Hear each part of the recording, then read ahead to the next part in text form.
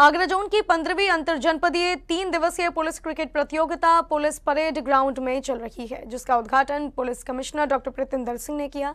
16 दिसंबर को police cricket प्रतियोगिता का समापन होगा।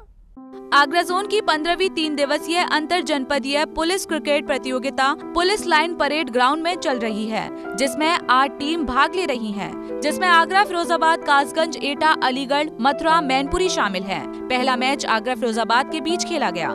जिसमें फिरोजाबाद टीम ने टॉस जीतकर बैटिंग करने का निर्णय लिया। और कब तक चलेगा ये मैच?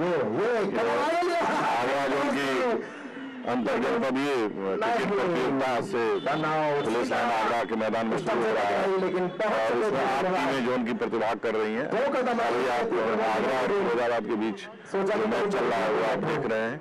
और ये तीन दिन की प्रतियोगिता है। सोलह को इसका इसका समापन होगा। बहुत अच्छा तो यहाँ चलता हुआ।